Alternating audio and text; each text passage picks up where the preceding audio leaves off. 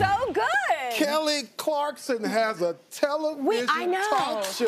They just give them to people. No, Yes. they, they do not just give them to people. You Oh. earn them by being excellent. And I'm so happy for you, and I'm so happy love to you. be here.